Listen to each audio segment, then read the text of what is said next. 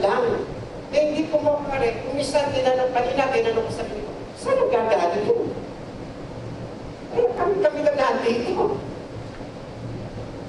Something miracle sa buhay niyo, sa puso niyo, kapag kayo ay ustigo na nagpupuri sa Panginoon. Amen? Yun ang nais lang naman ng Diyos eh. Na siya pupuri yung spirit and truth. At yung katotohanan niyo, makikita niyo, ang kalayaan at mapapansin niyo, meron talagang Diyos na dapat at karapat dapat lang purihin dahil siya yung dakila pa ng Amen? Isa pa, malakas na palakpak para sa Panginoon. Salamat po Diyos. Salamat.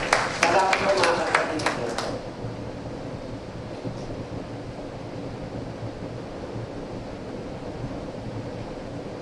Habang inihanda ko po ito, ay yung mga babasahin ko po rito, alam niyo po ba, ano eh, ako yung ugali ng tao, ako yung tao kong ano, lagi nagbabasa. Ayan po.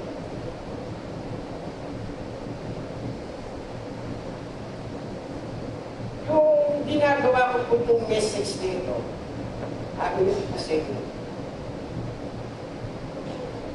kapag ginagawa ko, in the video, sa kalagitnaan, ay-stop ako. Kailangan, ano, mag-relax ako is, ah, kailangan ko sa tahimik na lugar, at na-assign po ako sa Montalban. Nag-meditate lagi ako sa Panginoon doon. Ay ipag-usap lagi ako sa Panginoon. Uh, show me, uh, paano, paano, Lord na tanong, paano? Sabi ko, Lord, mangyari yung tanong ko. Bigay mo basics mo para sa amin. Eh, pagbalik ko po ng Marikina, ah, pinipili ko tapusin, hindi ko matapos ko. Alam niyo po ba nung natutulog na ako? Kasi po, sa bahay ko, matawag kapatid na coaching. Si kapatid na coaching, ang inigan niya, kama. Sa ibabaw, ako po sa iyo. Ever since nung magbata ko, sanay ko ako. Hindi ako tao maarni kasi. Basta, kontento na ako. Alam niyo po ba, habang, habang nung ano, na, na natutulog na ako, nagkaroon ako ng panaginip ko. Eh, ginagawa ko na rin. Bakit hindi ko alam kung ano ginagawa ko? Hindi naman pinakita to sa panaginip kung anong aking ginagawa. At alam niyo po ba, may dumating na lalaki, alam niyo kung sino? Si Pastor Pablo. Sabi ni Pastor para sa akin, Ate Paul, tulungan kita. Ano sabi ko? Sige pa, Pastor. Alam niyo po, kung minsan tatanungin ko lagi ang sarili ko, si Pastor, wala na, eto. Eto siya. Parang, hindi ka pa iniiwan. hindi pa tayo iniiwan. Lagi siyang nakasubaybay sa atin. Mahirap. Para sa sa ibang mga pilos ng tao, mahirap iintindi, mahirap unawain. Eh, wala akong magagawa. Para masarap yun. Hindi ko naman ipagpipilit sa iyo o pwede sa iyo kung kung maghiwala ka o hindi. Basta sinasabi ko sa mga Talaga po ba? Last night, kagabi lang, kung natapos. May tinanong kay Stan Conjugal, kung natapos, hinanap ko, pilit po yun. Doon sa sa notes ko. Kanya po, ah, ah, susunod po natin yun, kanya po. Okay, muli ng Panginoon. Isang bahagi lang po ng pagkatao sa Panginoon yan. Kaya kasi po, ang isang naghahanda po ng isang misay para sa Panginoon. Kaya marami mga, nag, mga naghahanda po. Talagang inaamin, mahirap. Opo, mahirap. Talagang, dahil masasalita ka sa karamihan tao, hindi sa isang tao daw. Isa sinabi ni PCPJ, kilala niyo si PCPJ? Pastor Cesar Papa Jr., yan po. Kaya po tawag sa akin PBB. Yan po. Hindi Pinoy Big Brothers, mo brother ako. eh, Minsan sinabi ni Pastor Papa, kasi po ano yun, eh, uh, attender, number one attender ako ng BS o Sunday ganun. Alam niyo po ba, dalawang bagay na pinatatakutan ng tao sa mundo? Speech and death. Yung pagsasalita at ang pamatayan. Sa pagsasalita ko, uh, kung may mga nagsasalita po dito sa pulpito, sinasabi ko talaga, hindi biro-biro, hindi basta-basta. Ang minsan dinudugtong pa, mahirap. Kailangan ano, ikukonsulta mo pa ng maayos sa Diyos. Kumbaga, sabi na ng isang kapatid, parang ito po, kapit sa Panginoon. Alam niyo po ba ito po, pag nadampihan ka noon, kahit anong gawin mo alis mo, di maalisin mo. Bakit? Naranasan ko. Sabi ng kapatid, kapit sa Panginoon. Eh siya nga naman, totoo naman. Kaya pag mga nagsasalita, maraming adam nagsasalita, hindi sila nagsasalita sa tao. Kundi nagsasalita sila at binagamit sila ng Diyos para sa, sa mga tao na mailabas yung katotohanan ng salita. Which is in other words, sila po yung mga mensahero ng Diyos. Amen? Kaya natutuwa po ba kayo sa Panginoon kung kayo mga kapatid natin dito ay nagsasalita. Iba't iba nga lang ano, iba't, iba't iba nga lang topic ko o iba-ibang paksa. Pero ako, ako number one po natutuwa. Kasi kung, uh, kung sa akin lang po, patawarin ako ng Diyos, hindi ko kakaya. Hindi ganun kadali eh. Well, ayaw ko sabihin sa inyo, patawarin ako, Mr. Daddy. Dahil ko mo nga, iba kasi yung may pinag-aralan kaysa sa pinag-aralan. Pero salamat sa Diyos, tinawag ako bilang kung kulang man ang karunungan, pero din po ba isang bagay sa Panginoon, bigyan ako ng karunungan. Yung mga sulat niya, itarak sa akin isip mo. At at, at, at ang kanyang kasulatan, isulat sa akin mga puso, sa akin puso. Pasalamat sa Diyos. Yung mga pong ginawa sa akin. Kaya po mga minama, mga kapatid, isabak nyo, uh, salamat sa Diyos Mo ako sa ano ministry ko. Sa biyaya ng Diyos, nandun o. Nagagawa. Pilipos Patrocles. Bakit po? I believe, I believe, I believe. At ako'y naniniwalag na ng palataya. Kung kulang ako sa karunungan, may Diyos na magdaragdag ng karunungan na yun. Amen? Ano po? Kasi hindi mo ano eh. Kasi kung, kung kulang ng pananampalataya, Napukulang din ang dagdag ng Panginoon. Pero kung malakas ang iyong pananampalataya sa Panginoon, una na ang Diyos, bago ka pa. Deuteronomy 31, 6, sabi ko nun, ikaw ay makapagtatang, malakas at magpakatatag. Sabi ng Panginoon na ito, mga kapatid. Hindi ka niya iiwan ng pababayaan. Yung sa salita ng Diyos, panawagan lang po natin. Why? Kasi salita niya yun eh. Kung salita niya, hindi niya ginagawa sa atin, siya yung Diyos na pinakasinungaling. Pero hindi po. Siya yung totoong Diyos na dahil sinalita niya, sundin lang po na may pananampalataya at gagawin sa inyo ng Diyos yung mga tapilang gawa na magagawa sa Diyos, yung mga himada na, na dadaluyan kayo ng pagpapala ng Diyos mo. Para sa mga tao, magugulat na Maamis ka. At wala kang iba gagawin sa puso mo. Kundi pasalamatan ng Panginoon. Muli ng Diyos. Hindi asal. Amen? Yan. Kasama niya, idaragdag po natin mamaya sa mensahe ng Panginoon. Okay. Tuloy na po tayo mga kapatid sa Panginoon. Dahil po ba kayo? Amen? Yan. Isipin muna Pasko ngayon na hindi kayo mga inanak nyo. Muna po. Huwag may nag-intay sa inyo sa bahay, mga bisita. Huwag isipin nyo. Kundi manapay, i-focus nyo mga kapatid sa Panginoon. Bigit sa lahat ang isip ng puso nyo sa pakikinig ng mensahe nito sa ating sa oras nito. Okay, kung kayo po ay may mga may mga Bible dyan, at kung wala man, Inilig ko po na tumayo po tayo lahat. Bilang paggalas salita ng Diyos. Ah, isang, isang chapter lang po ito. Isang verse lang po pala. Mula sa mga awit, awit 145 yan. Kung makikita niyo sa screen na yan po. Awit 145.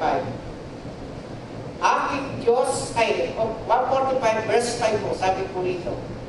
Sa maluwalhating kaningningan ng iyong karangalan at sa iyong kahangahangang mga gawa, ako'y magbubulay. Yan po.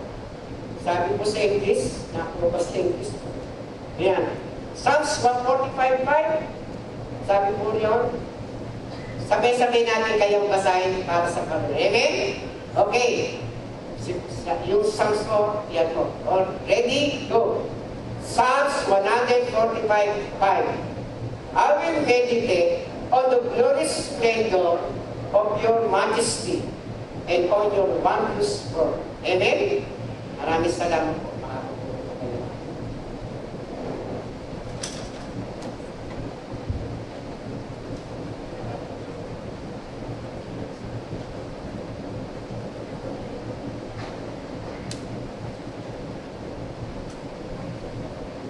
Pasko. Ah, sinasamantala ko lang po yung pagkakataon nito. Kasi galak na galak po ako sa Panginoon. Pasko, hindi ko makakalimutan si Pastor Papa. At yun, hindi lang pala ako nakakita sa kanya. Pati si kapatid naman ko. Kasi po, yung aura, no? isipin nyo, yung mukha ng Pastor Papa, kung titignan mo, dahil Pastor, nagniningning. Why? Kasi nakikita niya yung mga kapatid na dumarating sa church. Eh, church natin doon, kumbaga, ano eh, maayos, pero hindi katulad dito. Dito, komportable tayo lahat. Nakikita doon yung mga anak ni Esther. Mirna, kapatid na. Kasi yung mga bata. At yung mga iba pang other na mga anak, of course kami, may mga anak din kami, yan, siguro kasi maligid po sila. Kasama-sama. At ang mga ano, di alam ni PCPG, pinagmamasdaw ko siya, lahat ng bilis niya. Eh, nasentro yung pagiging ko sa kanyang mukha. Sabi ko, ganda ng araw ni Ani Pastor. Lalo na lang tumayo sa, ano, sa harapan ng portrait. Sabi ko, ang ganda. Very, very, sa akin, very impressive sa akin, very presentable yung mukha ni Pastor. For the first time, siguro baka, inisip ko, siguro baka Pasko, dahil sa Pasko. Pero di po. Ang asiya-siya kalagayan ni Pastor Panginoon, nakikita niya yung mga kapatid, inuuna ang Panginoon. Sumasamba sa Panginoon kasama yung mga anak ko. Gaya niyo po mga kapatid. At sa inyo, mga minamahal, sa inyo pa lang, nakikita na yung panuwalatian ng Diyos. Ito po yung ating pag-aaralan ngayon. Aking ulit-uling babasahin sa inyo itong ating basa. Awit 145.5 sa malwalatiang kamahalan ng iyong karangalan at sa iyong mga kabila-bilalas na mga gawa, magpupulay ako. Sa Psalms 45.5, I will meditate on the glorious splendor of your majesty and all your wondrous work. Tayo po'y manalangin. Amang banal sa pangalan ni anak na si Jesus, Diyos na dakilang banal, nasa kaluwalatian, pinupuri ka namin pinasalamatan dahil sa iyong salita. Sinabi mo, isang mabuting bagay ang magpuri at magpasalamat. Kaya Ama, pinasasalamatan po ka namin, pinupuri po ka namin sa oras nito. Minabuti mo po, Ama, ng bawat sa amin ay makarating dito sa iyong tahanan, Panginoon, na may kagalahan na ikaw ang aming pupurihin na mula sa puso, ikaw ang aming luluwalatin at dadakilain. Pagpalayo po ang mga salita at mangyari yung kalooban habang nasasalita ang iyong pong alipin. Sa iyo ang pagpulit pa salamat, Ama. Po aking dalangin sa pangalan po na iyong putunanak na si Jesus na aming pagkakapagpapitas. Amen and amen. Ang ating tema ng pag-aaral ay ang kanuwalagyan. Yan po.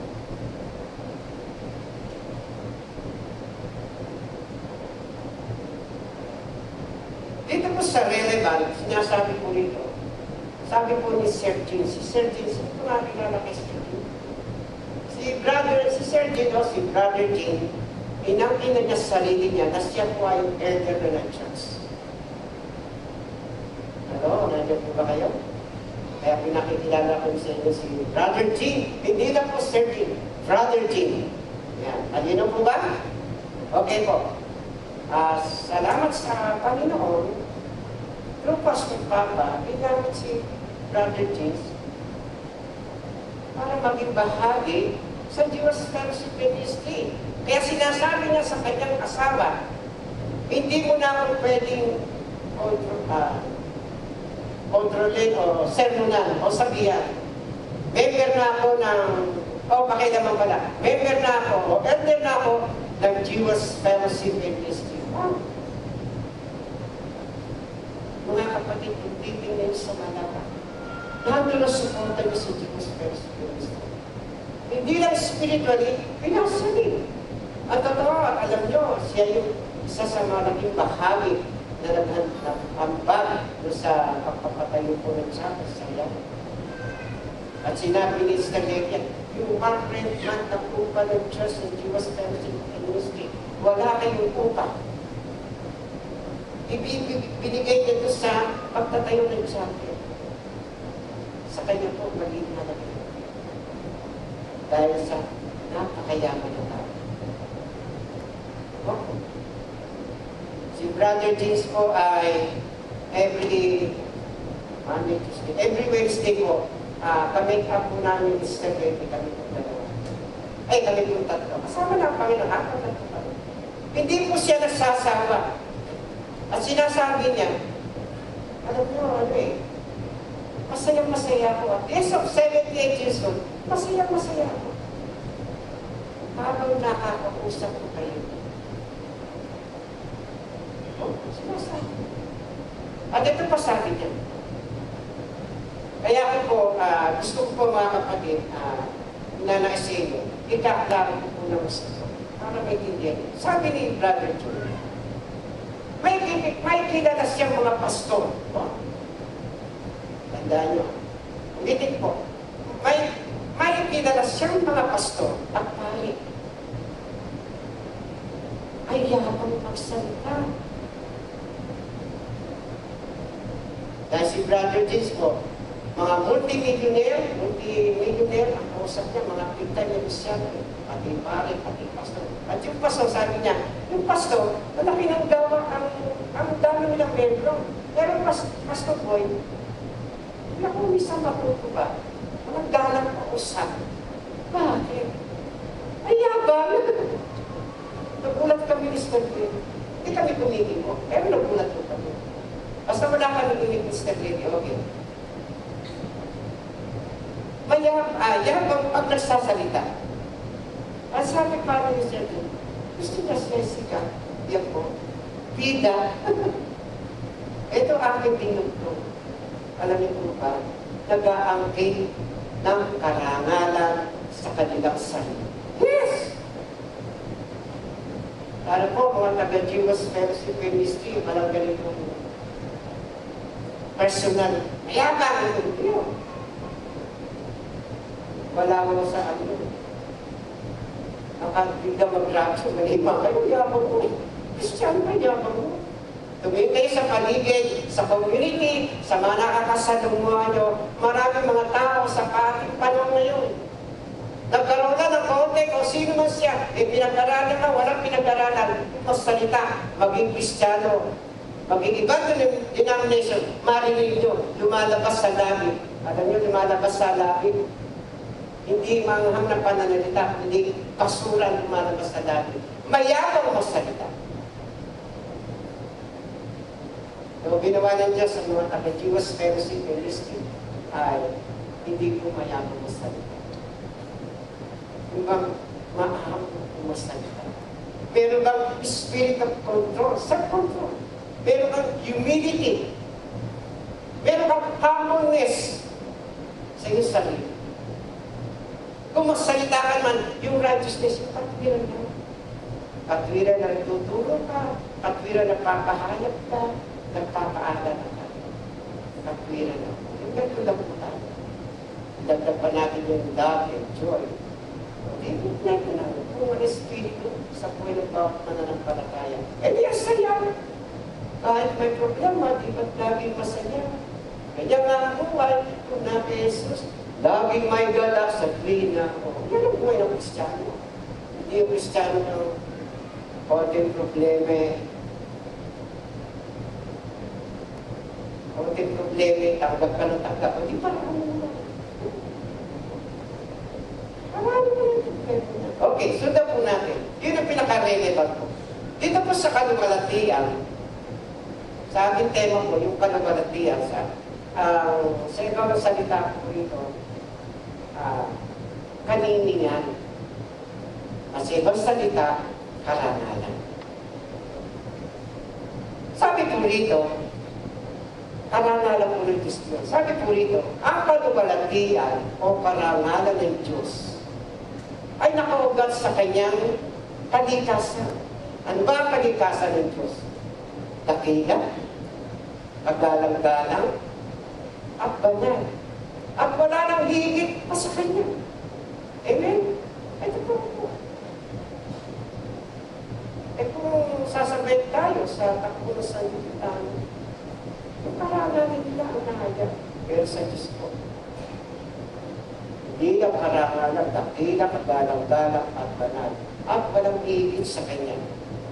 Ang kanyang marangal na katangian ay pinakita niya sa kanyang madalas na pakikipag-isa o pakikipag-ugnay sa kanyang bayan para karanasan niyo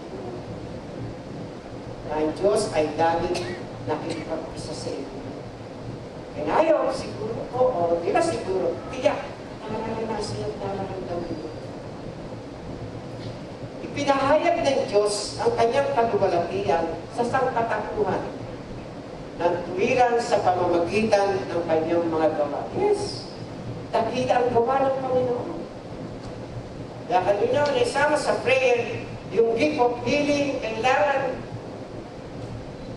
kung ay may sakit, accept it. Yung gift of healing yun. Kung meron kang, kung ikaw ay pinagpala, eh, yun. Di po ba? Isa sa mga dakilang gawa, yung protection ko. Yung pagkalinga, yung pagmamahal ng Panginoon, pag-iingat. Pag-iingat, higit sa lahat po ng Panginoon. Hindi lang po yun, yung kalakasan sa biyaya ng Diyos na pinagkakalog sa ating mga kapagalutan. At sa mga gawang ito, na ating nalaman, ay sumunod tayo na may takot sa kanyang panilingan. Amen? Alam niyo po ba mga kapatid, ang takot sa Diyos ay kasigla ng karupunan. Bakit kung makita po pa yung kanilingan ng Diyos? Opo. Kanya, idutugtog po natin to, kunik-kunik po ito, before mag-end ang message ni Lord. Si Yesu Cristo ang kaluwalatian ng Diyos na nagkatawang tao, na naging higit sa lahat ng kaluwalatian. Mula pa sa matandang tipan, sinasabi na si Jesus Christ. Pinoprophesize na si Jesus Christ. Kaya pagdating sa, sa New Testament, sa Bagong Tipan, kaganaman po yun mula sa pagsilang niya hanggang sa muling pagparito niya. Ang isang napapansin na sinasabi ni Pastor, Lapit ang dumating ang Panginoon. Eh pala, nirapture na si Kinuha ng Panginoon si Pastor Papa. Hindi ako mahihiya ako sasalita lagi pagpatungkol sa kay Pastor Papa. Why? Kasi siya yung aking ano eh, spiritual teacher ko. Okay, pinahayag niya ang karangalan ng Diyos sa pamagitan ng kanyang mga ginawa, lalo na sa kanyang kamatayan at sa muling pagkabuhay. Siya ngayon ay tinaas na may karangalan at balang araw ay babalik sa kalubalatian. Sabihin natin, ito po, naging passage sa akin ito eh. Yung word na, balang araw ay magbabalik sa kalubalatian. Dahil si Kristo nandun eh. Inisip ko, hindi kaya tayo yung magbabalik doon sa kalubalatian ng Panginoon, balang araw. O kaya namya, ni-rapture na tayo, dinado na tayo, nagbalik na tayo sa kalubalatian ng Panginoon. Naging passive po sa akin yung word na eh. Okay. Pinakalat ni Jesus ang kalubalatian ito, ito po maganda. Sa kanyang mga alagad, alagad ba kayo ng Panginoon? Amen. Sa pamamagitan ng kanyang Espiritu. Hallelujah. Sa ating pamumuhay, dapat natin ipakita ang kaluwalhatian nito. Amen.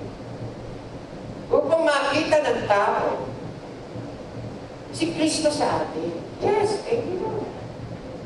Mahirap makita ka ng tao. Ah, mananampalataya ba yan? Eh, Kristo? Bakit sukuwi niya? Bakit pa- parang asal lagi ang problema? Alam niyo, pagka ikaw response-minded, kumbaga, lagi kang positive thinking. Yung mga problema, patol sinabi sa sa inyo, Padaanin mo na yan. O di, hindi ka pagkasin. Kaya marami magkakasakit eh. Apektado dami sa sarili. Because pag dumating ang problema, stress, tanggap ng tanggap. Nakakalungkot. Ako po, nag-amin naman sa inyo, nakalungkot ako sa ganung mga tao. Kasi, for me, tinuruan ako kasi ng Diyos dito eh. Ah, sabi, si, parang sabi sa sarili ko, ay, hindi ko pala kailangan yung mga bagay na yan kasi ano eh, makakabigat sa katawan ko pa ako yan. Baka hindi pa ako makapaglingkod na maayos sa Panginoon. Opo, nagpadidistract ang paglingkod ko sa Panginoon sa, sa message ni, Maki po yun. Distraction po yan. Kaya spiritual distraction, problema, kapatid, laging kaganda. Sasabihin mo kay Lord, spiritual na distraction problema, in Jesus' name, get out in your body. I command, get out in your body. Papayo po kumain, eh, sasabihin nyo, sa pangalan ni Jesus na susulat sa kanas, sasambahin mo ang Panginoon mo Diyos. I command you, get out in my mind. Ganun lang po kadili. Alert po sa buhay niyo mga kapatid. Okay, sundan po natin. Sa makatuwid, tayo po ay inuubusan na bigyan ng kalangalan at kalubalatian ng Diyos.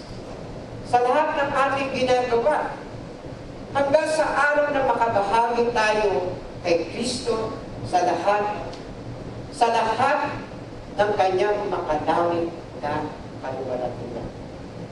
Yun ang gusto ni Jesus Christ. Yun ang gusto ng ating Ama na nasa langit. Kung paano si Jesus Christ ay makabahagi, nakabahagi doon sa kaluwalhatian ng kanyang Ama. Dahil ni Jesus Christ, tayo mananampalataya. ay makabahagi doon sa kaluwalhatian kasama ni Jesus Christ. Amen? Palakpakan niyo ang Panginoon.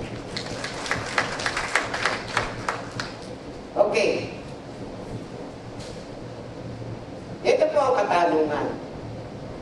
Ito na po yung pinaka-lulpot ng ating pag-aaral. Mahalaga ang kaluwalhatian at pamahalan. Yes, mahalaga. Kasi ano eh, pagka sa puso mo, mahalaga yun, ibig sabihin, kinikilala mo, kung di sa Kanya, kung di sa Diyos, hindi ka tao.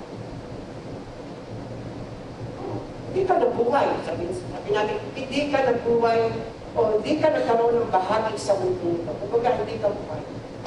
Hindi ka nakilala si brother, hindi ka nakilala si sister. Whatever. Hindi ka naging professional. Kumbaga, chine-check mo yung sarili mo yan sa Panginoon. Dapat po ganun. Okay. Kaya mahalaga ang kalawatian at kamahalan ng Diyos. Una, si Jesus ang kaluwalhatian ng Diyos. Amen? Dito po sa Matthew 14, eh, 17, verse 1 and 2, sabi po rito, pagkaraan, pagkaraan ng, uh, ng anim na araw, ay sinama ni Jesus si Pedro, magkapatid na Santiago at Juan. At sila'y umakyat sa isang mataas na bundok. Sa verse 2 po, habang sila'y naroon, nakita nila nagbabagong anyo. Si Jesus.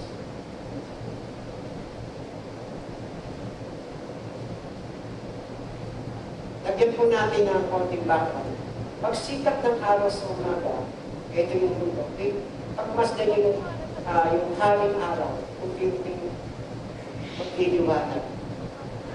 At habang yung buong mundo, naku, ano, darating sa mundo, yung liwanag. Liwanag pala ng mundo. Kasi may kulay pa yun. Pero sinabi ko dito, sa ating binasa, nagliwanag na parang araw ang kanyang mukha at kalilingan sa kaputihan ang kanyang damit. Ganun po naging kalagayan ng ating anak At nakita ni, ni, ano to, ni, ni Pedro, nakita ni Juan at Santiago. Makita niyo kaya ang Panginoon ngayong gabi. Matakot kaya kayo. Sana matapang kayo. Ako, sa marami na ako nakikita kaya matapang. Amin siya matapang. Pero, mababalo ko naman. At dahil totoo, kaya ako matapang, marami na ako nakikita. Dito po sa John 2.11, sabi po dito, at nangyari ito sa Kana, sa Galilea, ang unang himalang ginawa ni Jesus. Sa pamamagitan nito, inihag niya ang kanyang kaluwalhatian at naniwala sa kanya ang mga kalagalian. Sometimes sinasabi ng people, to see is to believe. Wow! Sa puso mo lang, maniwala ka na. Nasa harap mo ang paniningan ng walang Diyos. Kung kilala mo si Kristo, sa puso mo, bilang iyong Panginoon tagapagligtas. Oo. Pag meditate ka, hindi kayo na may problema sa kamag meditate. Mag-meditate ka sa Panginoon. Makikita mo yung paniningan ng Diyos. Wala. Hindi ka kayo ng halimbawa. Ikaw, hindi ko nakita yung paniningan ng Diyos. Pero sa akin po, sapat na po yun. One morning, nagbe-breakfast po. Magpapasalamat ako sa Diyos. Ang breakfast ko po, nasa Bulaldon po kasi ako. Ang breakfast ko po, uh, uh, uh, five pieces na pansa sa gatas po. Papasalamat pa lang ako. Mo sabi ng uh, Espiritu ng Diyos? Pray for the sick. Tapos so, tinuloy ko yung prayer ko sa breakfast ko. Saka sa mga kapatid, okay, saka sa church, saka, saka, of course, sa ko, may nakan, mga tao. At alam niyo po ba, pagkatapos ko mag-pray, sabi ko, no, meron ako naalala. Bakit ipina, pinarating mo, pinabatid mo sa akin na merong kailangan ipanalangin na may sakit. Alam niyo po, mga 5 o'clock o 5.30, tumawag ang kapatid niya Danny. Pre-prepare na po ako ng hapunan that time. Ah, ang ulam ko po, ang babae ko kasi kulay naman, ayaw ko kanin. Dad, umuwi ka kasi kailangan ni nanay. Hindi mo na po kung nagulat naman. Sabi ko, bakit kaya? Eh, Hindi ko po alam ito kami ng coaching may sakit. Doon ko na-realize, si, si Sir Coaching pala, sinabi ni Lord Jesus na, pray for the sick. Siya pala yun, asawa ko na pala. Opo, ah, ganun kabuti ang Panginoon. Kaya sabi ko, thank you. Lord." Kaya ulitin ko po, pagka ikaw nakipag, na, na, nag-meditate sa Panginoon, makikita mo ng buo yun. Makikita mo na maliwanag yun. Katulad ng sikat ng araw. Next, hindi lang po, ah, hindi lang po si Jesus ang kaluwaltian ng Diyos. Ikalawa po, mahalaga rin ang kaluwaltian ng Diyos at kamahalan. Pagbabalik ni Kristo bilang loob. Yan. Sa Matthew 16, verse 27, sabi po rito, sapagkat darating ang anak ng tao, nakasama ang kanyang mga anghel at, at tagday ang dakilang kapangyarihan, hallelujah, ng kanyang ama sa, Pangino, sa panong iyo'y gagantimpalaan niya ang bawat tao ayon sa ginawa nito. Di ba ako po Kristiyano? Bago pala kami mag-asawa ni Mr. Coaching, way back in the year 1970, 79 po. Before my birthday come, birthday ko, October. Pinangungot po ako. So, kung nakatira kami doon sa sa lola ko, kumbaga, ang laki, wala pa ata 6 meters, tapos yung haba, baka 8 lang po. Ganun pang yung kasikip. Tinitira namin. Dahil binangungot po ako, yung mga nasa kontol ng lola ko, na house to, nabisip ko sila. Kasi step coaching, iyak na. Pinabago talaga ang fairness. Alam niyo po ba, nakabinit ang puno. Pero tumunog na mga trompeta, at talagang ang buong mundo, dumadagundong. O halimbawa, yung yung makarinig kayo ng boom, papuno. Di ba, pati kayo nagugulat. Eh, bakit pa yan, trompeta ng Panginoon, dumadagundong buong, buong mundo. Pagkatapos po, mula doon sa, ang tawag, mula po dito sa mula po sa malaking bundok ng dalawang ganyan, lumabas ang Panginoon, ganito po itsura. Kapag ganyan po, ang forma, unang-una ang Panginoon at nakakabayang puti at crown. Kasama ng kanyang mga anghel, nakakabayang puti po. Sige nyo, mula sa kalapakan, may mga ulap pusyado. Talagang pati yung mga ulap, umagano. At ang Panginoon sa Kristo, hindi ka nakakrown. Nakapot po siya ng puti na nakakabayo. Kaya, yung oras yun na, na binabangungot ko, yung time ko na Kaya, ano eh, kaya, kaya, ganun din, babalik ang Panginoon. Sabi po rito sa ating binasa, pagbabalik ni Kristo bilang loob, ang kasama niya yung kanyang anghel. Christian, pag kailangan lagi tayo handa. Dahil sa pagbabalik ni Kristo, anytime, any minute, any second, every day, di natin alam, di natin tiyak. In a twinkle of an eye, kailangan, pagdating ng Panginoon, kailangan handa. Kasi hindi tayo nakasiguro. Ibigyan ko yun po yun ng ano, ng, ng idea. Paano ako makakapaganda? Hindi ko naman nakakasabi ng Panginoon. Lagi ko mananalangin sa Panginoon. Gusto yung puso ko, lagi niyanda. Lagi kang handa. O, nakahanda na. Man panahon, man oras, dumating ang Panginoon. Nakakatakot kasi pag ng Panginoon, kalimang tao. Ako isa sa mga bagay na pinakatakutan. Pag dumating ang Panginoon, nakiman ang Sayang! Sayang lang yung panahon ng paglilingkod ko. Dahil hindi lahat kukunin ng Panginoon. Kukunin lang ng Panginoon sa kanyang paghukom yung mga tao na tapat na naglilingkod sa, sa Panginoon. Ayan po. Kaya bago dumating ang Panginoon,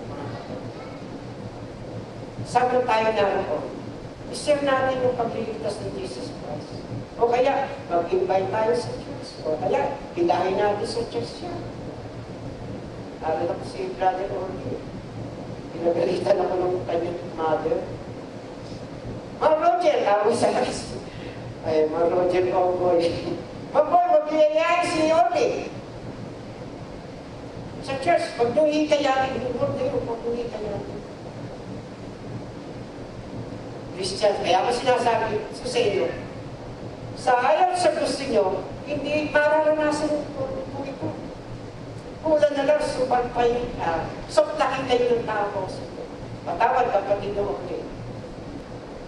Opo. Isipin nyo, pupunta kami sa church, nakabis na kami, sasalubong, sinalubong ko na, sinalubong mo ng good morning, ang kapalit ay, so soplakin ka na salita. Well, nakibis ko yung nanay ni Brother Ronnie. O, kakamusta yung isa na Well, anyway, tapos na lang ako. Ayun po, huwag mo hikayatin si Orly. Yung pala, galit nanay ni Orly. Ibrahim Orly. Ako naman, binigyan lang ng babala. Okay lang. Sige po. Alam niyo sabi ko? Ah, Nay, huwag mo kayo magagalit. Ganun kasolid. Huwag mo kayo magagalit. Saan ba nais kasama ang inyong anak? Kasama ng mga adik? Kasama ng mga tarantado? Eh, kahit, eh, kahit po ang inyong anak kasi maglilingkod kami sa Panginoon. Alam mo yung pinabig ko yung pangalan ng Panginoon, si Jesus Christ. Para siya eh, parang nahiya. Umalis ko tinunti. Yun, sinasabi ko sa inyo, makaka-encounter kayo ng mga tao na kahit mahal sa buhay, kapit-kapit, kahit na kapitbahay nyo, kailangan buwan mo. Huwag ka matakot. Kasama na ka, sinishare mo yung gospel. Si Jesus Christ. Dinadala mo sa kanila si Jesus Christ. Why? Kasi ano ba pangailangan ng tao? Si Jesus Christ. Yung pagliligtas ni Jesus Christ. Hindi pinasya, hindi yun. Hindi anything in this world, kundi si Jesus Christ lang ang kailangan ng tao. Yun ang number one pangailangan ng tao. Amen? Gawin niya sa pangalan ng Panginoon.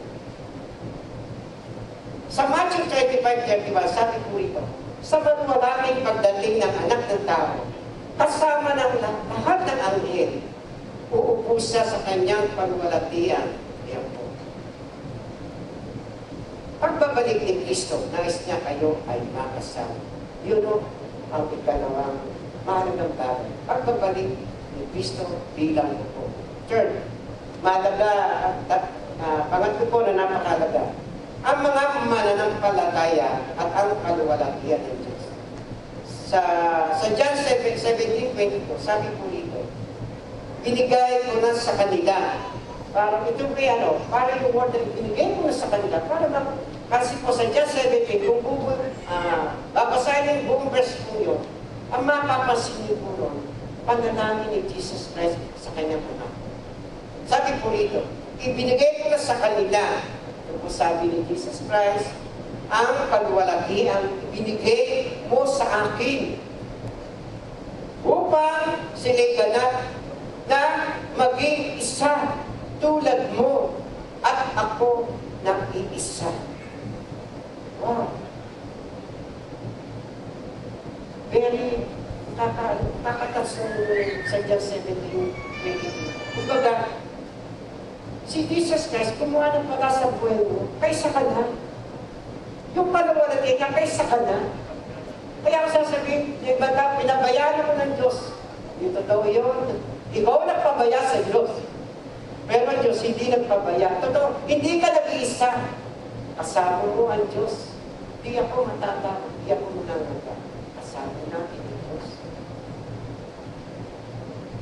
Ganun ang Diyos ko. Ganun si Jesus Christ. Kahit saan ka pumunta, tanda mo, di ka nabisa. Bibigyan ko ng halimbawa, kapatid. Ayan, kapatid na coaching. Ano, kung kayo magagalit sa akin, kapatid na coaching. Nag-ministry ako sa, sa Sariaya, first, uh, first missionary journey ko sa Antipolo, uh, 1987, uh, 1984. Tapos na nag-ministry na ako sa Sariaya, ah, napasama ko po noon. Alam niyo po ba, Sasa sinabi yan ng aking asawa. Alam ko naman, di mga sa akin sa coaching. Oo. Dahil hindagan niya ako. Sabi sa akin sa coaching, ikaw niisip ko na sarili mo. Ano mo sabi mo Lord? Patawarin mo siya, hindi niya alam ang kanyang sinasalita. So I pray. Pero salamat sa iyo, Lord. Nariyan ka, pinasyalig, bless me.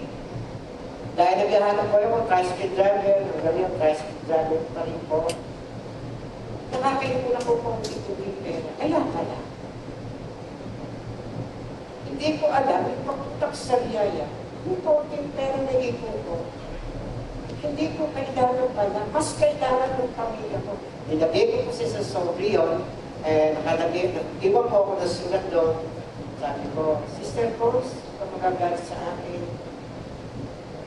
nawa, uh, maunawa mo ko, tawag ng tungkulin sa pagsunod sa Panginoon, I hope na naunawa mo ako. Tapos nilagay ko sa ulit, thou and her, yan po, brother boy. Hindi po, ganyan. Pag dinidam lang po. Ayun po. Ever since kahit yung binata ako, lagi ko nalalagay. Love and care. Kasi po ano, okay, hindi naman ako pito, pero ko po ako salita. Ayun, na sulat. Love and care. At ano yun po ba? Ano daw eh, habang nasa San Pablo po ako, nakasakay ako sa bus. Sabi ko naman kay Lord, Lord, huwag kong pababayaan ang pamilya ko, maging yung mga kapatid sa Marikina. Pupunta ako na sa Riyaya, malapit na ako sa Riyaya, Lord. Pati yung asawa ko, huwag kong pababayaan. Hoping na maunawa niya kung bakit ko ginagawa ito. Hindi sa sarili ko, kundi sa iyo, Panginoon. Hindi po ako nalulugbat sa iyo, Panginoon, dahil tawag mo sa akin ito. Dahil yun, din po, yun ang din po sa iyo. Ano man mangyari, susunod ako sa iyo, Panginoon. Huwag mo lang pababayaan ang aking family.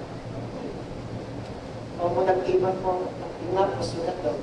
Nakita ni Steph Monsing. Alam niyo po ba, pagdating ko sa Marikina, pagkatapos ko ng service, nagtataka yung mga taga-Sariaya, bakit uwi ka na, brother? Meron pa tayong ano, meron pa tayong balak puntahan eh, pagbalik ko na lang ha. Kasi po kami yung ano eh, kami yung nasa field. Dadada ka sa dalawang ilog, tatabi ka ng dalawang ilog, tatabi ka sa hangin bricks, ang makakausap mo sabi nga sa mga taga Marikina, mga Kogi, other po, mga 1880. Alam niyo po ba, dahil maaga akong uwi, pagdating ko sa Marikina, nakakatuwa sa Panginoon. Matuwa ako siya siya ako. At, at uh, dito po sa, halos ito lang po, yung tapat ng kapitbahay natin, ganyan kalayo. At nakita ko, alam mo, yung mga kapatid sa Panginoon. Wow! Just imagine, kailangan pa bang padala ng pad, eh, ipadala ng Panginoon yung mga kapatid kay kapatid na Conching para ano, ang hindi alam itong mga kapatid na Conching sila pala ay magiging pagpapanang kalakasan sa kapatid na Conching. God's po. God's answers prayer. Ganun kabuti ang Diyos. At talagang po sabi ng isang kabataan si Jake, Sister Cos, nandiyan na si brother Boy. Alala, hindi na, hindi na yung mga kabataan. Alam nyo, feeling ko, naglalakad ako, hindi ako nagmapaking pa ako. Para pag yung kasiyahan nandun. Yung kagalakan nandun. Yung kasiyahan dahil, dahil ano ko, kumilos ang Diyos ko. Sa buhay ng ating mga kapatid at sa kapatid na Alam niyo po ba, niyakap ako ni Star Conching. Yung niyakap, ganun. Sa harapan pa naman mga kapatid. But okay lang. Eh kasi sabi ko, excuse me na, Mr. Conchino, ibis na ako. Pero totoo, pag kanito Mr. Conchino, dagdagan luha ako. Kala ko matapang ako pagdating pala ito eh. Dagdagan luha. Sabi ko, alam mo, malagdagan luha ako, sabi ko, Lord, salamat sa iyo. Kaya nang magdagan ako. Oo. Hindi nagpabaya ang Diyos. Sabi nga sa John 31, nalaman ko sa iyo, at nagpako na ang Diyos sa iyo. Just imagine nga, every step, every way, bawat kilos mo, pag dahil nakikipag-usap ka lagi sa Panginoon, tanda mo lagi na ako ng Diyos.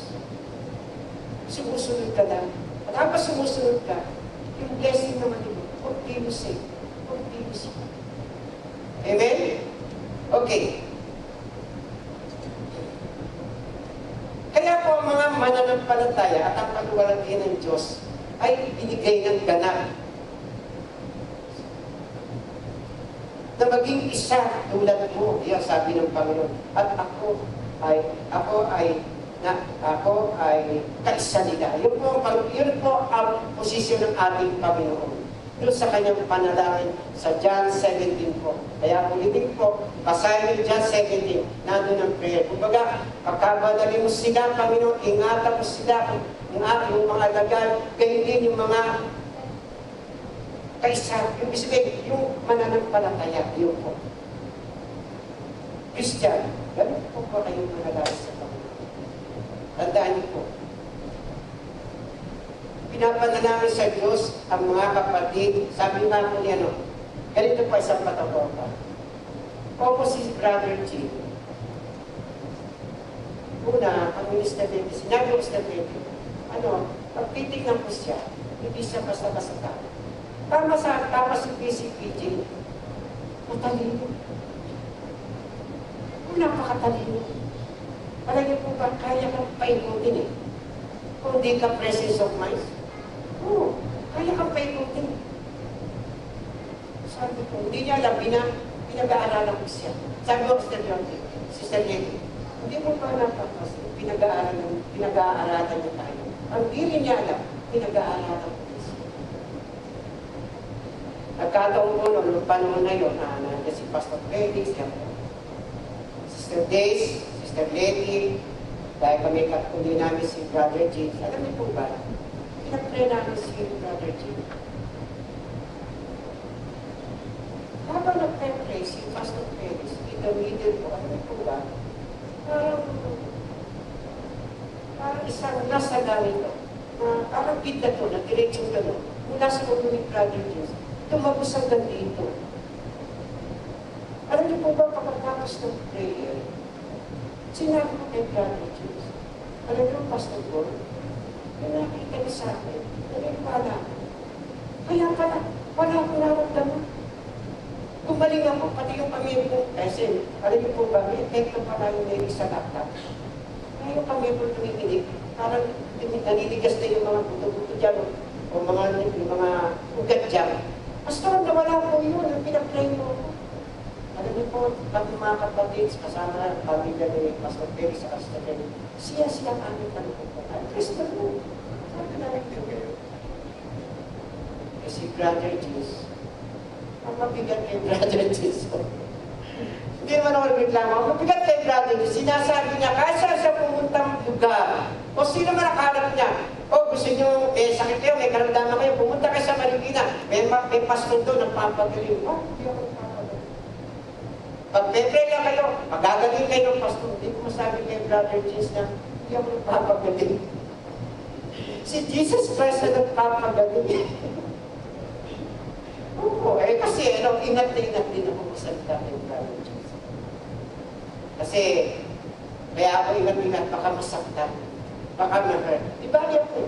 Eh, ibang tao siya. Sa akin, tanggap ko, kumahart ako. Okay. Tayo po. Kaya ma, ang pananampalataya at ang pagwawalantin Diyos ay mahalaga sa buhay ng bawat sa tao. Sa, lalo na sa mananampalataya. Sa Romans 5, sabi po rito, sa pamamagitan din naman niya ay magkaroon tayo ng ating pagpasok sa pamamagitan ng pananampalataya sa biyayang ito na diyan ay nagsisinagin tayo. Amen? Katulad nito. Para tayo makapasok sa kaluwartiyan ng Diyos, nagsisinabi tayo sa Diyos. Kahit na iba, may naramdaman, nagsisinabi sa Diyos ko. O kahit iba mga kapatid natin wala, alam ko, ang mga ang espiritu nila, narito pa rin. Kumbaga, nagpapatuloy mo sila. Nagsisinabi tayo at nagagalak tayo sa pag-asa ng kaluwalhati ng Diyos, pangako ng Panginoon yan sa lahat ng mananampalataya.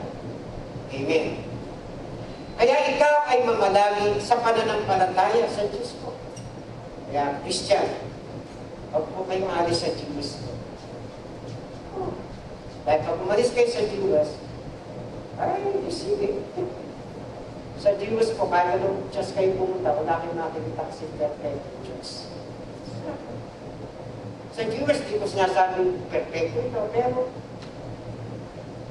dito po, tuturuan tayo lagi ng Diyos ko. At bilang kapatid ka, o kapatid sa Diyos, kagalaan ka. Hindi lang ito kagalaan, kalakasan ka at pagpapala. Kaya nga mga kapatid sa Panginoon, 14 days na lang. Yes. Dahil isang araw, makapagtanap na natin ang pangakong iyan ng Panginoon. Huwag lang kayo iwalis sa Diyos. Amen. Saan ka ba? Palagay ko kaya, pag umiwala, parang umiwalay ka sa Diyos, magkakaroon ng changes sa buhay mo.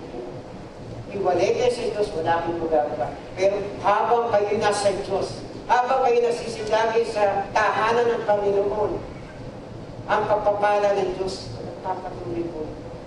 Maraming blessing yun. Sabi nga sa akin, count your blessing, then, then one by one. You know, ang dami, ang dami. Ayun po.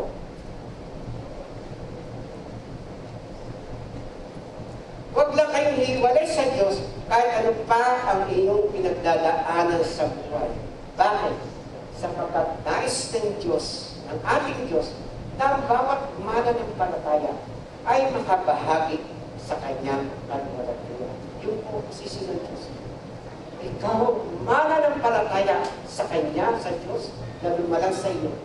Ang dayo niya, na sinuko niya si Jesus Christ dito sa lupa, ay makabahagi doon sa inihandang panwalagaya kasama ni Jesus Christ. And fourth po, kaya mahalaga po ang kaluwalhatian, kamahalan ng Diyos. Fourth po, sumunod sa halimbawa ni Kristo.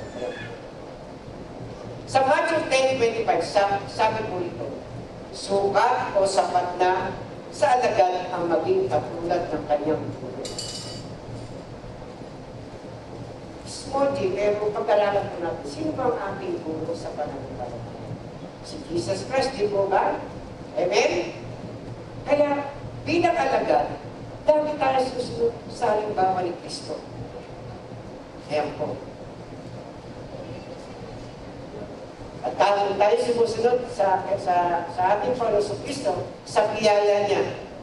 Sa biyaya ni Kristo, magagawa natin ang lahat ng mga bagay niya. Bakit? Sapagkat si Kristo, sa, um, sa Kristiyano, Kristiyano ka na hindi ka pwedeng magreklamo. Ayun pala. So, dadalhin mo na lang ba? No. Magagada araw na, sa ibang araw, sa ibang mananampalataya. Eh, bakit tayo kami? Aglipay po yun. Every morning, pupunta sa chapel. Roger, ay, sister, good morning. Kasama nyo na ako sa prayer. Ano-ano po yun. Tayo nga po, every weekend lang eh. O kaya pagka meron po tayong uh, ibang gathering, ayan po. Kaya hindi ka, hindi ka pwede magreklamo. Kung may reklamo ka, problema mo na sa Diyos yan. Hindi mo na problema yan. Bahala ka, may stress. kahit mahirap, yes, pastor. Yes, brother, kahit mahirap. Saan natin kisod ako? Hindi, hindi mo galing. Lalakas ang faith mo. Bakit? Hindi naman siya pinagili ko. Yung Diyos ang pinagili ko. Huwag kang titingin sa tao. Yung Diyos sa iyo po, sabi ko sa salita. Hindi ko lang po sa Kristo. Ano mag ang Panginoon ang aking kakampi? Ano magagawa sa akin ng tao? Siya na naman. Ano magagawa sa ito? Pero tanda mo, mananampalataya ka. Ang Diyos ang kapatid mo. At kapag ka ikaw tumingin sa tao, marami kang makikita iba't ibang itsura sa kalagayan ng tao. May maganda, may pangit, yun din ang galit. May maganda, may pangit, may maliit na tao, may malaking tao. Ano nakikita mo? Talagang hindi ka, hindi ka matigisod ka talaga. Pero sa Panginoon ka tumingin, hindi ka matigisod. Yan. Kahit na may problema ka pa, kahit na may kaunting nararamdaman sa iyong kalusugan, magagawa mo pa rin sumunod sa Panginoon. Ah, kanina, chinecheck ko sa ko, kaya ba? Kaya. Hindi ka ba naiiyo? Hindi, yun. Hindi ko tinataas ang aking asawa. Kasi bilang asawa, narito po ako para agadayan siya, agapayan siya, protektahan siya. Baka mahirap yung pinipilit, parang hindi kaya ng kapatid. Kaya salamat sa Diyos. Kaya katulad sabi sa inyo, kahit may problema, may problema pastor eh. Nagiging dahilan pa ng problema yung pag-indihan, pagdating sa Diyos. No. Padaanan yung problema. Problema, dumaan ka muna. At ako'y tatawid. Hindi po ba? Hindi po ba mga kapatid? Gusto nyo, kasi may mga ibang tao, gusto lagi, pag may problema, oh, si Kawa Ava po po yun. Kasi lagi nang tinatanggap yung problema. Hopeless siya. Kawalang pag-asa. Pero mananampalataya, o problema, sige, dumaan ka na. Alahanin mo lang yan.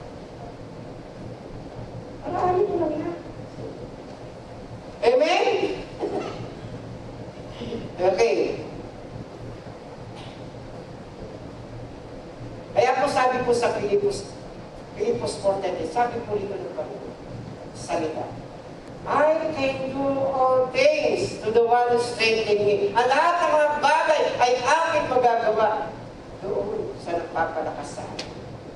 Si Kristo Jesus. Mga minamahal na kapatid sa Panginoon, sa pangalan ng Panginoon, tayo po ba'y mga Kristiyano na marangal, na namumuhay, na kalapit ni Kristo? Yung po'y tanong. Lalo ba't ang kaluwalyan ni Kristo nakikita sa iyo bilang ikaw ng Kristo? Ano? Yung mga kapitbahay yung kami, amin kasi, mga iba member ng IS, iba mga member ng born again, nakakalungkot. Sunday Christian, yung tinatawag na Sunday Christian. Pag hindi na Sunday, pag nakalabas na sa church, ang mura, ang sasama ng mga dila, ay yun yung tinatawag na Sunday Christian. Dapat, pag kayo Kristiyano totoo, every minute ng iyong buhay, namumuhay ka bilang Kristiyano. Why? Kasi nakikita sa iyo, pagkain mo namumuhay, ang nakikita sa iyo, si Kristo. Si Kristo dahil sinusunod mo si Kristo. Hindi yung sarili. Kaya ba natin sa Panginoon? Amen? Yes, kaya natin. Pastor, may kahinaan din ako sa, sa, sa sarili ko. O di tanggalin mo yung kahinaan mo. May pabigat sa iyo, pasang-pasang mo pa yan. O, tanggalin mo yan. Para makakarilis ka. Pag hindi yung kahinaan yan, tinatanggap mo. Hello, nandiyan po ba kayo? Ibis na wala ka nararamdaman, meron ka pa rin nararamdaman sa sarili mo. Is either sakit ng ulo, o kaya masama pakiramdam. O di ba nararamdaman mo? Kasi ayaw mong palayain niya. Ayaw mong palayain. Palayain niya mga kapatid. Para hindi mo maramdaman sa buhay niya pagsubok o stress na yan. Mga, mga nais na bibayin ka sa buhay mo. Okay, dahil sa pagsubok sa Panginoon. Ang kalwante ni Kristo ang makikita sa iyo bilang ikaw ay Kristiyano, ang in-person. Ikaw yung maamo. Alam niyo po ba isa sa mga sikreto ng yari sa mundo? Yung pagiging maamo. Ang in-person. Yung po si Harry Salomon, kahit na napakayaman niyang tao, Pero sa kabila nun, siya pa yung lalaki ng Diyos na mayroong katakiyan na maamong katakiyan. Ito po, sa pa, a humble person. Ikaw yung tao dahil nagpapakumbaba. Pastor, sasaktan na ako. O di mo pakumbaba ka pa rin. Hindi ka naman bibigyan ng pagsubok ng Diyos na hindi mo kaya. Kaya hindi ka papansin. Pag dumating pagsubok, atas ka. Ako pala kasi pa. Diba? Pag gusto ay sagat eh, pagka dumating pagsubok, gusto ay sagat. Siyempre, pinahati. Eh, pastor, talo. Yes. May damdamin tayo, nasasaktan tayo. Pero pag ina-apply mo lagi sa sarili mo yan, nung, nung pinagagalitan mo, pinayayapot mo, kung nayayapot ka, ang sarap ng tulog. Samantalang ikaw, hello, hindi ka matulog. Okay, apit ang katawan mo yan. Okay. Meron mga humble heart. Wow. Patotoo sa Panginoon, sabi ko din yung gratitude. Alam niyo mga brother pastor, maraming times na nag-uusap tayo dito. Kasi doon kami binabago sa second floor. Ano, yung second floor pa lang yan, alam mo, para kami parang sa Makati. Napakaganda. Napakaganda ng lugar. Yung second floor pa lang. Yung pinagbibigyan nila. Tapos po, ah, sabi niya, kung baga nag-sharing mo kami, sharing mo niya. Ano yung sabi niya, Pastor Boy, ayun, sergente, ano yung nakita ko? Meron kayong spirit humble heart. Sabi ni Brother Jim. Hindi mo ako sabi. Meron kayong spirit humble heart. Christian, sa pagsunod mo sa Panginoon, kasama yan dapat sa pamumuhay mo pag abas sumusunod ka sa Panginoon. Pero may spirit humble heart. Amen? Dahil expose tayo sa mundong ito. Expose ka sa kapaligiran. Expose ka sa ibang kapatid sa pananampalataya. Kaya ikaw ay, kung meron kang spirit humble heart, pero ikaw ay mabuting halimbawa. At dahil mabuti kang halimbawa, ang nakikita sa, ang nakikita sa iyo, ay, yan ang, yan ang lalaki ng Diyos. Yan ang sumusunod kay Kristo. Gusto kong gayahin siya. Gusto ko siyang gayahin. Gusto ko siyang kasama. Gusto ko siyang kausap. At hindi ako nahiyang makipag-usap. Why? Kasi meron siyang humble spirit heart. Amen? Yes, kapal ko. Yun ang sikreto mo sa buhay mo bilang mananampalataya kapag ka ikaw ay sumusunod kay Kristo. At dito na po tayo mag-end.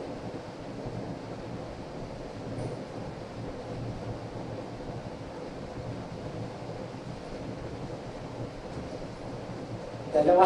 Hindi po babasahin lahat. Ito po yung dinala ko para isang, isang talent po ito. Para may prueba po sa inyo.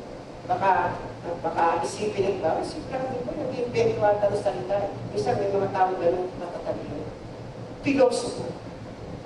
Sabi po dito sa Efeso, Efeso 5, 1 sabi po dito, Kaya kayo'y tumulad sa Diyos gaya ng anak na minamahal. Amen? Amen po ba mga kapatid? Sabi, kaya nga, tumulad kayo sa Diyos na anak na minamahal. Anak kayo ng Diyos eh. Di tumulad kayo sa Kanya. Sino tutularan mo? Sarili nyo, magkakamuli ka. Sa ibang tao, di pagkakamali rin. Dahil hindi perfect, perfecto tao katulad natin. Eh Diyos, perfecto. Dakila ba na? Sumunod tayo sa Kanya. Ito sabi niya. Ulitin ko po. Kaya kayo'y tumulad sa Diyos gaya ng anak na minamahal. Ang sinasabi nito, gaya ng anak na minamahal, ang binabanggit po rito, si Jesus Christ.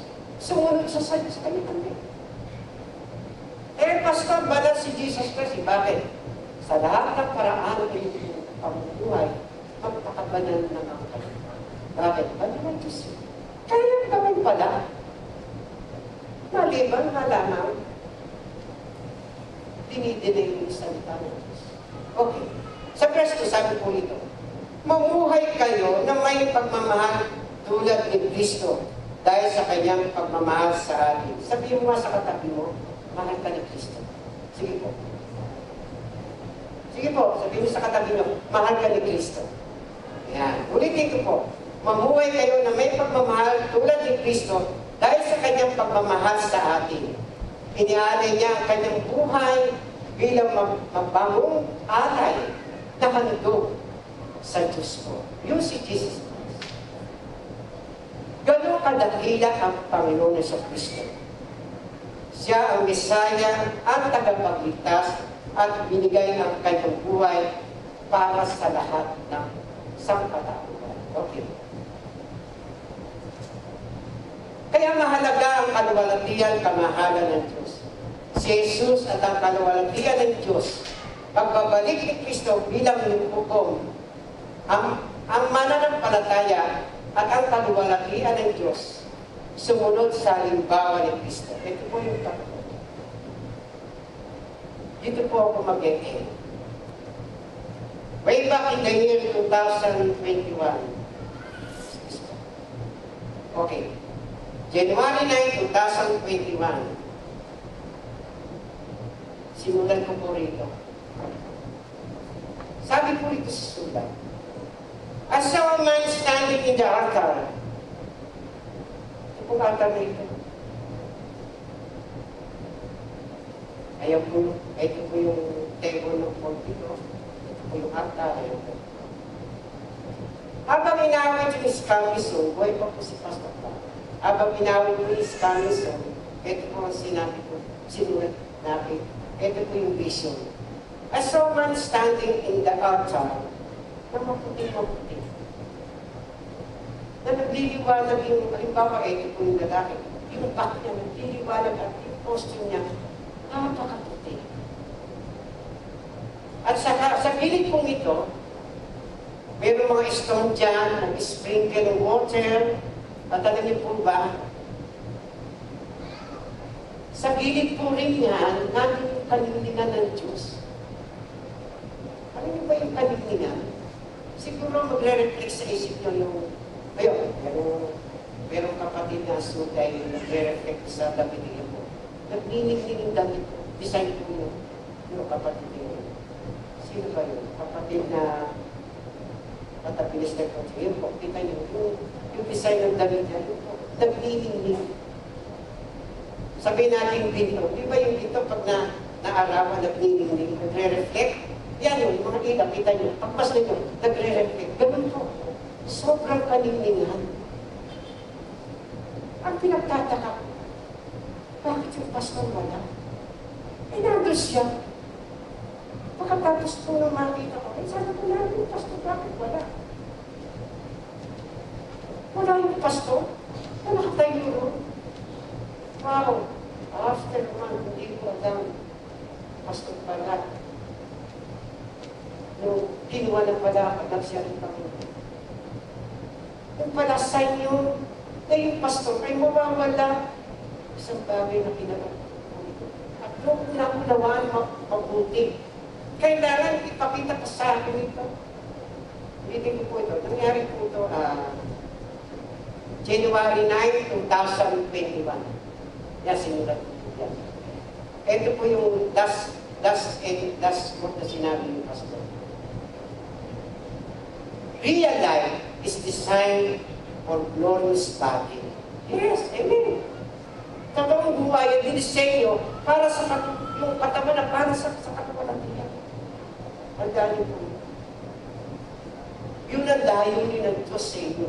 Kaya po mga minamahal, nais na Diyos sa bawat sa atin. Makabahagi tayo bilang mana ng palataya. Kasama ni Kristo doon sa kanyang kaluwalhatian. Amen? Amen po ba? Palakpakan natin ang Diyos. Okay? Ah, tayo po ay tumayo.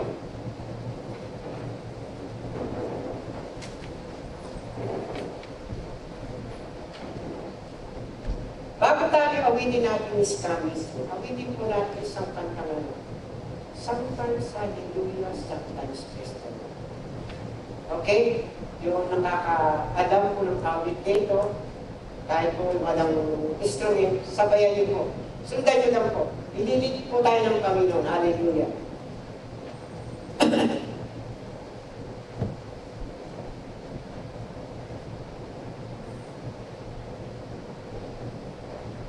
ng pagpupuri at pagluwala sa Diyos na makapalasalan.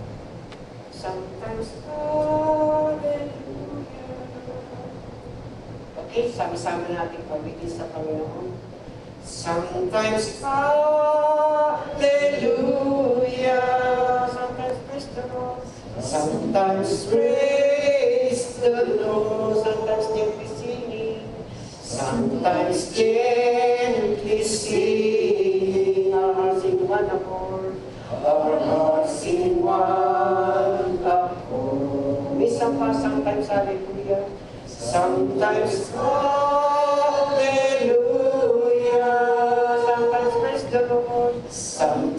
Praise the Lord. Sometimes, gently singing.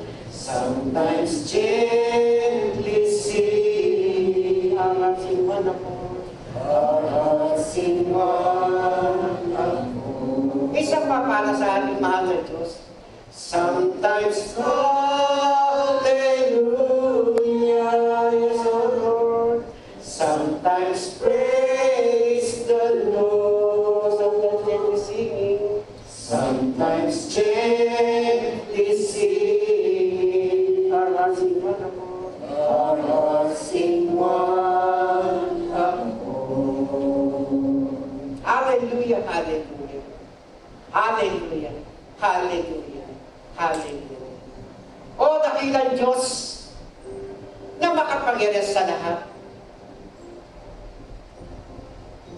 Diyos na banal.